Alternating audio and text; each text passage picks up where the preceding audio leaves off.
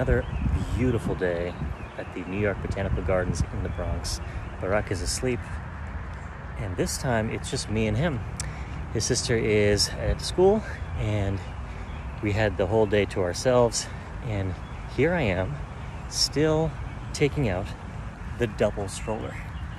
And what's amazing about this double stroller is that it is so versatile and robust that it has the ability to be one single stroller very, very well, but also can expand and scale up to be a double stroller. So we used it for a year and a half when Amina was first born until Barak came, and then another year and a half since then for uh, the two of them together. It's taken quite a bit of use and been through the ringer, and it has stood the test of time. There was one incident where the brake mechanism broke, but they sent me, the Baby Jogger company sent me a replacement, no extra cost.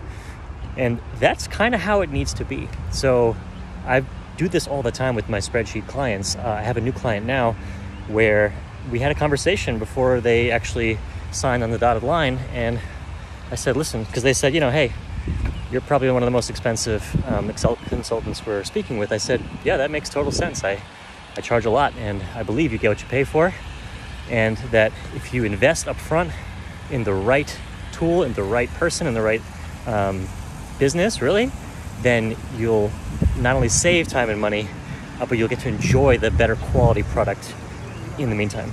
And that's exactly what uh, I've been doing for years, over a decade.